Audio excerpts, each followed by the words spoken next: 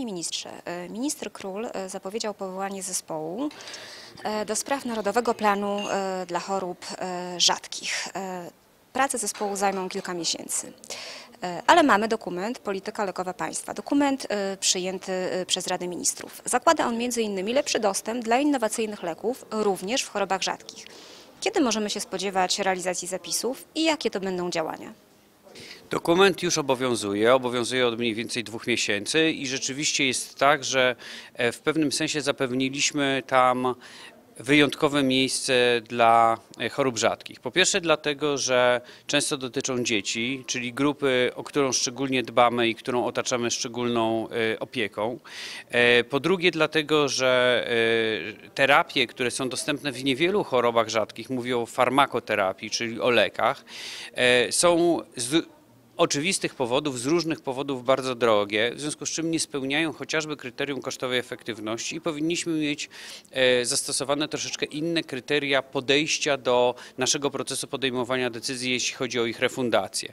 Stąd e, w polityce lekowej, która jest dokumentem strategicznym na pięć najbliższych lat, e, jest sugestia, aby zastosować inne kryteria decyzyjne, takie jak na przykład analiza wielokryterialna, do tego, aby wziąć pod uwagę na przykład fakt, że jest to jedyna opcja terapeutyczna, albo fakt, że taka, e, takie schorzenie ma duże znaczenie społeczne, e, e, czy, czy, czy inne elementy, które normalnie w tych kryteriach refundacyjnych nie, nie, nie, nie są brane pod uwagę. To nie znaczy, że my zastępujemy ustawę refundacyjną MCDA, wcale tak nie będzie.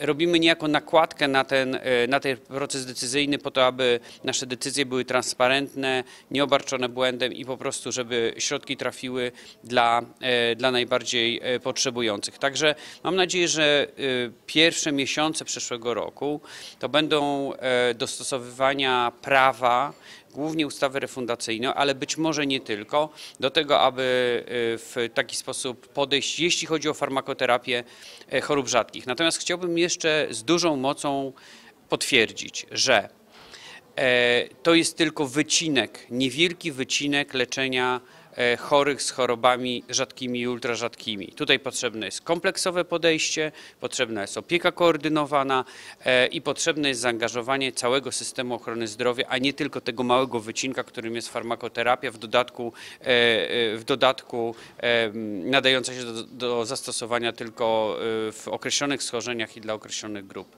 e, pacjentów. No właśnie, tym bardziej, że zaledwie 3% e, chorób rzadkich e, ma wynalezioną jakąkolwiek e, opcję lekową. Mm, Natomiast grupę chorób rzadkich, z grupy chorób rzadkich wydziela się choroby ultrarzadkie. Mm, Czy taki podział nie ograniczy jeszcze bardziej dostępu do leczenia? No podział na choroby rzadkie i na choroby ultrarzadkie nie jest bynajmniej naszym polskim podziałem, e, który związany jest z refundacją jakkolwiek. E, To jest w ogóle bardziej filozoficzna dyskusja e, o systemach utylitarnych i egalitarnych i o takich rodzajach podejścia w ogóle do terapii bo można powiedzieć, że albo powinniśmy się koncentrować, to jest w ogóle głę- głębszy problem, czy powinniśmy, powinniśmy się koncentrować na może bardziej na działaniach prewencyjnych, mniej na leczniczych, czyli te wszystkie działania związane ze zdrowiem publicznym. Może powinniśmy e, nasze działania nakierować na takie interwencje, które są tanie, a pomagamy wielkim grupom osób. Ale y, jakaż jest to wina e, rodziców, że ich dziecko jest chore e, i e, jakiż oni mają związek z tym, że ich akurat schorzenie kosztuje 2 miliony złotych, podczas gdy nadciśnienie tętnicze można leczyć za 20 złotych rocznie. E, W związku z czym myślę, że musimy mieć e, takie troszeczkę mieszane podejście do tego i e, pomagać oczywiście tym wielkim grupom osób, gdzie leczenie jest kosztowe, efektywne, gdzie jest opłacalne, gdzie mamy dużo opcji terapeutycznych, ale nie tracić z z, te, z zasięgu tych, którzy, których potrzeby są no, w pewnym sensie wyjątkowe, tak, wysublimowane. E, A jaka e, powinna być polityka e, państwa w odniesieniu do leków stosowanych w chorobach rzadkich, ale zwłaszcza takich leków przyczynowych? Leczenie przyczynowe, no to, to jest otwarcie tak naprawdę nowych opcji terapeutycznych, bo, bo tak naprawdę tutaj do, dotykamy również chociażby terapii genowych i pewnych kombinacji, e, e, pewnej kombinacji działań, gdzie mamy do czynienia z e, bardzo dużą efektywnością, z często z taką, często jednorazową interwencją, tak też możemy mieć, e, takie terapie również są, e, która doprowadza do, e, do wyleczenia pacjenta. No po drugiej stronie, tak jak już mówiłem, stoi to, że te terapie są horrendalnie drogie. W związku z czym my musimy mieć też dobry pomysł na to, jak e, podejść do tego wyzwania, który łączy się z obciążeniem budżetowym e, i e, jak zapewnić finansowanie e, tego typu terapii i co to znaczy, że cena jest fair, co to jest fair pricing. Ja wracam w tej chwili ze Światowej Organizacji Zdrowia. Miałem rano spotkanie w e, Kopenhadze z e, szefem e, WHO odpowiedzialnym za systemy ochrony zdrowia i z osobą odpowiedzialną za leki e, w tym szerokim WHO-skim regionie europejskim obejmującym również Rosję i były kraje ZSSR, Europę Środkową, Europę Zachodnią.